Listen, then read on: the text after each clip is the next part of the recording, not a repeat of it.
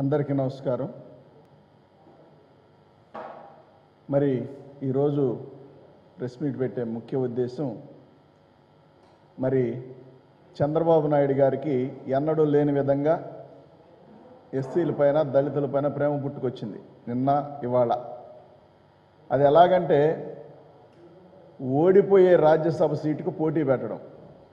ఆయనకు ఒక సీట్ ఇస్తున్నాను దళితులకు ఇస్తున్నానని చెప్పుకోవడం.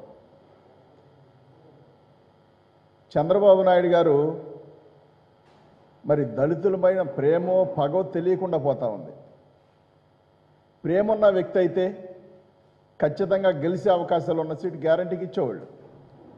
తనకి ఎటు ప్రేమ లేదు కాబట్టి ఏదో రకంగా అనగదొక్కాలి కాబట్టి తన పార్టీలో ఉన్న వాళ్ళని ఏదో రకంగా కించిపరిచే విధంగా దళితులను మోసం చేసుకుని చంద్రబాబు నాయుడు గారికి ఎదరికి ప్రయాణం చేస్తూ ఉన్నారు. అదే సందర్భంలో రెండు వేల పద్దెనిమిది ఇదే వరలరామయ్య గారికి గెలిచే అవకాశాలు ఉన్నా కానీ ఆ రోజు అంతా రెడీ చేసి ఆయన పాపం ఫ్యామిలీతో సతీ సమేతంగా బయలుదేరి ప్రకాశం బ్యారేజీ మీదకి వెళ్ళిన తర్వాత మాట మార్చుకొని ఇది ఇవ్వడం లేదు నువ్వు ఒకసారి ఆగాల్సిందని చెప్పి అవమానపరిచి వెనక్కి పంపిన నైజం చంద్రబాబు నాయుడు గారు ఇక రెండు వేల పదహారు మూడు రాజ్యసభ సీట్ల అవకాశం ఉంటే వాటిలో గుంటూరుకు చెందిన ఎస్సీ సామాజిక వర్గానికి చెందిన జేఆర్ పుష్పరాజు గారికి ఒక సీటు ఇస్తానని ఆశ పెట్టి అప్పుడు మోసం చేశాడు. అదేవిధంగా మరి మోదుగులపల్లి రన్న నరసింహల్ గారికి అయితే గవర్నర్ని చేస్తానని చెప్పి ఆయన్ని మోసం చేశారు. చంద్రబాబు నాయుడు గారే మరో వ్యక్తి కాదు ఇదంతా కూడా. గెలిచే అవకాశం ఉన్న ఏ రోజు కూడా వాళ్ళకి అవకాశాలు ఇవ్వకుండా వాళ్ళని ఎదర పెట్టకుండా ఎస్సీలుగా ఎవరు పుట్ట పుడతారులే అని మాట్లాడిన వ్యక్తి మళ్ళీ ఎస్సీల పైన ఏదో ప్రేమ కలిగిన వ్యక్తిలాగా మొత్తం నేనే మోస్తున్నాననే విధంగా ఇవాళ చంద్రబాబు నాయుడు గారి చేష్టలు చూస్తూ ఉంటే కొంచెం ఆశ్చర్యంగా అనిపిస్తూ ఉంది. ఎందుకంటే ఓడిపోయే సీటుకి ఈయన బలుపసం చేయడం ఎంతవరకు కరెక్ట్ ఆలోచించాలి. మరి ఇదే వ్యక్తులు గతంలో ఇచ్చిన ఛాన్సులు ఇచ్చినప్పుడు మీ సామాజిక వర్గానికి నువ్వు అందరికీ నీకు మోసం చేసుకుంటా నీ సామాజిక వర్గాన్ని కేటాయించుకుంటా ఎదరికి వెళ్ళి ఇవాళ దళితుల పైన ఏదో కపట ప్రేమ చూపిస్తున్నామంటే దుర్మార్గం ఇది. బలివ్వటానికి దళితులు మాత్రమే చేతికి దొరికినట్టుగా ఆయన భావిస్తూ ఉన్నారు. మరి అంత ప్రేమ రాజ్యసభ సీటు పైన ఉంటే ఇది గెలిచే సీట్ అయితే ఖచ్చితంగా వాళ్ళ కుమారుడినే పెట్టాడు ఎందుకంటే సాక్షాత్తు మంగళగిరిలో రేపు మాపు ఎమ్మెల్ ఎమ్మెల్సీ పదవి పోతా ఉంది. ఇలాంటి వ్యక్తిని మరి వాళ్ళ కొడుకుని పెట్టొచ్చు. ఎటు వాళ్ళ కొడుకు మళ్ళీ ఒకసారి ఓడిపోతాడని భయంతో ఇవాళ వరలరామయ్య గారిని నుంచి ఇలాంటి దుర్మార్గమైన ఆలోచనతో చంద్రబాబు నాయుడు ముందుకెళ్తా ఉంటే చంద్రబాబు నాయుడు గారిని ఏమనాలి? మరి గతంలో మనం ఒకసారి చూస్తే చంద్రబాబు నాయుడు ఎప్పుడూ కూడా దళితులను ఎస్సీలను బీసీలని మైనార్టీలని ఓట్ బ్యాంక్గానే చూశారు మోసం చేసుకుంటాను ఎదరికెళ్ళని ఇచ్చిన ఏ ఒక్క హామీ కూడా నెరవేర్చిన సందర్భాలు లేవు. మరి సాక్షాత్ ఒక రాష్ట్ర ముఖ్యమంత్రిగా ఉండి గతంలో చంద్రబాబు నాయుడు గారు ఎస్సీలుగా ఎవరు పుడతారని పుట్టాలని కోరుకుంటున్నారు అని అన్నారు. మరి ఇవాళ ఆ రా- మరి టీడీపీలో ఉన్న దళితులందరూ కూడా మరి ఎందుకు అందులో ఉంటున్నారు ఏమి సాధిద్దామని ఉంటున్నారు అర్థం కావట్లా.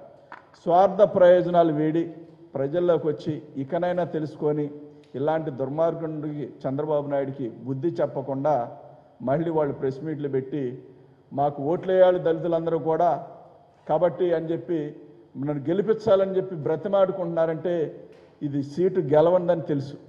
ఎందుకంటే ఇరవై మూడు మంది ఎమ్మెల్యేలు ఉన్నారు. అందులో ఇద్దరు ఎమ్మెల్యేలు కూడా జారిపోయారు. ఇరవై ఒకటే ఉంది. ఏ రకంగా ఈ రాజ్యసభ సీటు గెలుస్తారు. చంద్రబాబు నాయుడు ప్రెస్ మీట్ ముందు మాట్లాడితే ఏ రకం గెలిపిస్తారు పాపం? వరల రామయ్య గారిని చెప్తే చాలా బాగుంటుంది. అవన్నీ చెప్పకుండా ఎంతసేపటికి మోసపూరితంగా దళితుల మీద కొత్త ప్రేమ పుట్టుకొచ్చినట్టు ఎస్సీల పైన కొత్త ప్రేమ పుట్టుకొచ్చిన వ్యక్తిలాగా వింత చేష్టలు చేస్తూ ఉంటే చాలా ఆశ్చర్యంగా చాలా బాధకరంగా కూడా ఉంటామంటే ఇంత జరిగిన బలి పశువులను చేస్తున్నా కానీ మరి వీళ్ళందరూ కూడా ఇంకా పార్టీని పట్టుకొని ఏలబడతా ఉండటం దౌర్భాగ్యం దురదృష్టకరం. నిన్న ఆయన చేష్టలు భరించలేకనే మరి మాజీ ముఖ్య మాజీ మంత్రి డొక్క మాణికూర ప్రసాద్ గారు ఆత్మగౌరవం చంపుకోలేక మనస్సాక్షి చంపుకోలేక మరి బయటకు వచ్చి వైఎస్ఆర్సీపీలో జాయిన్ అయిన సందర్భం మనందరం కూడా చూసాం కాబట్టి ఆత్మగౌరవం చంపుకొని అందులో ఉండాల్సిన పనేం లేదు. ఎందుకంటే మీ అందరికి తెలియని విషయమేం కాదు. వరలరామయ్య గారిని ఇవాళ మోసం చేయడం కాదు. గత పూర్వంతా కూడా వరలరామయ్య గారిని అలాంటి పార్టీని నమ్ముకున్న వ్యక్తులందరినీ కూడా మోసం చేసుకుంటూనే ఎదరికి వచ్చారు. కాబట్టి చంద్రబాబు నాయుడు గారు బుద్ధి ప్రసాదించాలని ఆ దేవుడిని కోరుకుంటున్నాను. ఎందుకంటే దయచేసి ఇలాంటి కపట ప్రేమ దళితులపైన చూపించకుండా సామాజిక న్యాయం సామాజిక న్యాయం సామాజిక న్యాయం అంటే ఇంకేం సామాజిక న్యాయం ఇంకేం చేస్తాడని చూస్తే ఆయన సామాజిక వర్గానికి న్యాయం చేసుకునే విధంగా ఆయన తీర్పులు ఉన్నాయంటే చాలా బాధ కలిగించే సందర్భాలు. అలాగనే ఇవాళ రాష్ట్రంలో ఎక్కడా లేనంత గొప్పగా పాలన జరుగుతూ ఉంటే దాన్ని చూసి కుళ్ళు కొట్టుకొని చంద్రబాబు నాయుడు జనాల్ని ఏదో రకంగా మబ్బిపెట్టి ఈ లోకల్ బాడీస్లో ఓడిపోతాం కాబట్టి సాక్షాత్తు మీ మీడియా కూడా చెప్పిన సందర్భాలు. ఏమనంటే లోకల్ బాడీస్కి మనం ఎడంగా ఉండటం చాలా మంచిదని చెప్పి వాళ్ళ మీడియా చెప్తుంది అదేవిధంగా చంద్రబాబు నాయుడు కూడా ఒక మాట అన్నాడు. ఏమన్నాడంటే వైఎస్ఆర్సీపీ జోరుకు మనం బ్రేక్ వేయగలగా వేయగలమా? అని అడిగాడు. అంటే వైఎస్ఆర్సీపీ జోరు మీద ఉంది రాష్ట్ర ప్రభుత్వం అంతా కూడా చక్కటి పాలన అందిస్తూ ఉందని చెప్పి వాళ్ళకి సా- సాక్షాత్ అర్థమవుతా ఉంది సందర్భాలు. కాబట్టి దళితులను మోసం చేసే కార్యక్రమాలు కాకుండా ప్రజలకు మేలు జరిగే విధంగా దళితులను ఏ రకంగా ఉద్ధరించాలనే కార్యక్రమాలు చంద్రబాబు నాయుడు చేయాలి. ఇంకా కూడా మోసపోతా అందులో దళితులు మోసపోతూ మోసగించుకుంటూ ఇంకా మేకపోతు గాంభీర్యం ప్రదర్శించడం కరెక్ట్ కాదు. ఒక్క మాట చెప్తున్నాను. చంద్రబాబు నాయుడు గారి నైజం ఒక్కటే ఒక్కటి. మీ అందరికి కూడా ఆయన చేతిలో బంగారపు కడం కూర్చొని చెరువు పక్కన కూర్చున్న సింహం లాంటి వాడు పులి లాంటి వాడు అది ఆశ చూపించి చెరువులో దిగమంటాడు స్నానం చేయమంటాడు స్నానం దిగిన తర్వాత మన మీద పడి రక్కు పీక్కు తింటాడు చంద్రబాబు నాయుడు. కాబట్టి టీడీపీలో ఉన్న ఎస్సీలకు దళిత సామాజిక వర్గాలకు మిగతా వాళ్ళందరికీ కూడా చెప్పేది ఒకటే మీరు బలిపశులు కావాల్సిన అవసరం లేదు. మీరే క్వశ్చన్ చేయండి ఆయన్ని మనం ఎట్లా గెలుస్తాం ఈ సీట్ అని. కాబట్టి మీరు మోసపోయి ఇంకా ప్రజలకు తప్పుడు సందేశం ఇవ్వాలని మీరు కూడా ప్రయత్నం చేయొద్దు దయచేసి. మీరు ఎటు మోసపోయారు మోసపోతున్నారని మీకు తెలుసు. అయినా కానీ ఇంకా కూడా పార్టీని పట్టుకొని ఆలబడే పరిస్థితులు ఎట్టి పరిస్థితులు కూడా టీడీపీకి భవిష్యత్తు లేదని తెలుసు. అదేవిధంగా మరి దళితులకు గౌరవం లేని పార్టీ ఏదైనా ఉంది అంటే అది ఖచ్చితంగా చంద్రబాబు నాయుడు పార్టీ.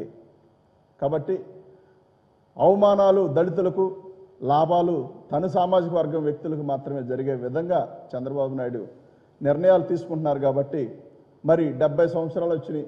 నేనైతే రాను రాను పెద్ద వయసు అయిపోయింది చిన్నపిల్లల్లాగా మారుతారు చక్కటి మాటలు మాట్లాడతారు. చంద్రబాబు నాయుడు గారు మాత్రం డెబ్బై సంవత్సరాలు వచ్చిన అబద్ధాలు మారలేదు మోసాలు మారలేదు దుర్మార్గమైన ఆలోచనలు మారలేదు ఇంకా డెవలప్ చేస్తూ ఉన్నారు.